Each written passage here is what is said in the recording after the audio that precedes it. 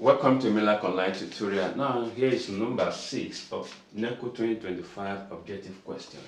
Now the first term of an arithmetic progression is 36 and the first term is 6. Find the common difference and here are the options given. Okay, so what we do, uh, what do we do, uh, do here? Now first of all, let us recall the formula for AP, which is what arithmetic progression. And it says for any given term, equals to the sum of the first term and the n minus 1 the product of the number of terms times the difference common difference. Okay. Let's now write out all that is needed in the question.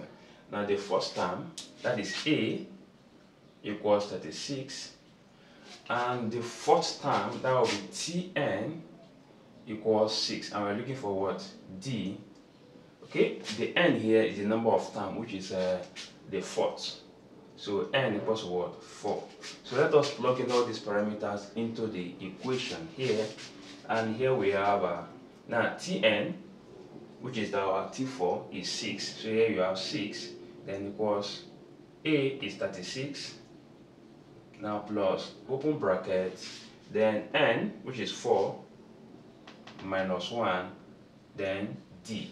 Okay so let us simplify here. You have our 6 equals 36 then plus 3 i mean sorry 4 minus 1 is 3 you have 3d okay, let us subtract 36 from both sides.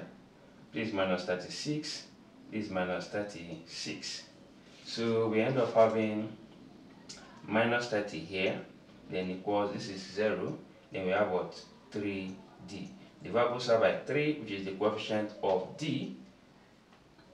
3 here 1, then 3 here you have 10. So negative 10 equals d, which also implies that d equals what? Negative 10.